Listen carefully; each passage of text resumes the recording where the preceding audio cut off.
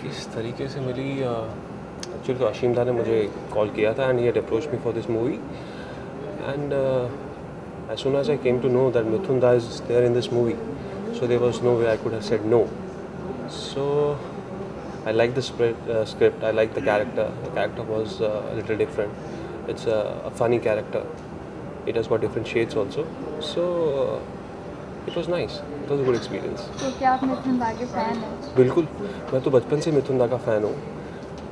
मिथुन दा का फ़ैन कौन नहीं होता है? Because as we know is a legendary actor he has done so much of work जितनी मेरी एज नहीं है उतने सालों से वो काम करते आ रहे हैं। So it was a great experience Shakti Kapoor भी है इस मूवी में। आप उन, उनके बारे में क्या कहेंगे? आपको उनका विलेनस कैरेक्टर ज़्यादा पसंद आता है कि उनका कॉमेडी नहीं नहीं डेफिनेटली कॉमेडी क्योंकि मैं उनका कॉमेडी का वर्क ज़्यादा पसंद करता हूँ। है तो बहुत ही अच्छे एक्टर तो वो किसी भी रोल में ढल जाते हैं। बट मेरी खुद की पसंद उनकी कॉमेडी कैरेक्टर्स है। आप इस फ़िल्म में अपने रोल के बारे में थोड़ा बताइए किस तरीके का कैरेक्टर ये जो कैरेक्टर है basically he is a struggling musician वो म्यूजिशियन बनना चाहता है और अपनी ब्रेड एंड बटर अर्न करने के लिए वो उर्दू का टीचर बन जाता है और वो डॉन के घर पहुँच जाता है। और लेकिन जब वो पहुँचता है उसको मालूम नहीं होता कि ये डॉन है। Story progresses he comes to know that he is a don then later he comes to that he is a funny don he is not a serious serious a villain don he is a sweet don आ, आपका look इसमें कुर्ता पजामा पहने हुए हैं चश्मा लगाए हुए हैं और बाल बिल्कुल चिपके चिपके या या या वो वैसा लुक डिसाइड किया गया था फ़िल्म की स्टार्टिंग में।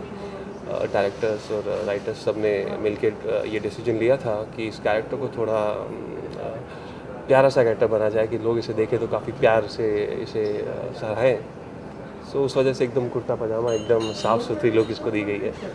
कितना कंफर्टेबल थे आप इस लुक में मतलब आप यूजुअली लाइफ में भी आप इस तरह के कपड़े पहनना पसंद करते हैं like- मैं तो किसी भी कुछ भी पहन लेता हूँ तो कंफर्टेबल हो जाता हूँ वो प्रॉब्लम नहीं है।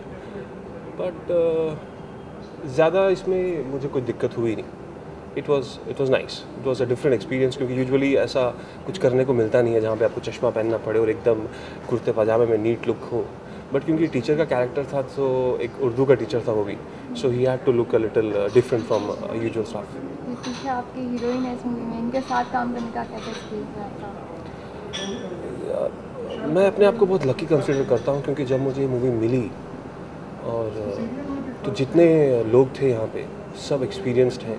आप मिथुन दा को ले लीजिए शक्ति दा को ले लीजिए आप अ, ऋषिता जी को ले लीजिए। So everybody so experience that I got to learn a lot from them so एक एक्टर के लिए सबसे बड़ी बात यही होती है कि उसका जो को एक्टर है वो बहुत एक्सपीरियंस है तो वो बहुत फ़ायदेमंद की बात होती है। तो ऋषिता हो चाहे मिथुन दा हो सबके साथ काम करने में बहुत मज़ा आया। और ऋषिता बहुत ही स्वीट लड़की she is is sweet girl and it was a great experience working with अभी जब आपकी मूवी फ़र्स्ट मूवी फिनिश होने वाली है ऑलमोस्ट रिलीज़ होने वाली है तो आपका क्या एक्सपीरियंस आपको कैसा लग रहा है what's your feeling right now I'm feeling excited about it. I'm just waiting. I just want that people should like my work and uh, they should appreciate me as a newcomer. And as I keep uh, I keep getting good work, that's fine for me. एक आखिरी सवाल कि अगर आप actor नहीं होते तो आप आपने क्या सोचा था कि हम हमेशा एक्टिंग करेंगे आपने कभी और भी कुछ सोचा था कि कुछ और बनना नहीं कुछ और तो मैंने सोचा ही नहीं था कभी भी बट अगर मैं एक्टर नहीं होता तो म्यूजिशियन होता। बट आई गेस मेरी डेस्टिनी में एक्टर बनना ही लिखा हुआ है। एंड आई लाइक बचपन से मुझे शौक था एक्टिंग करने का। तो मैं खुश हूँ कि मैं एक एक्टर ही बना। Thank you thank you so much thanks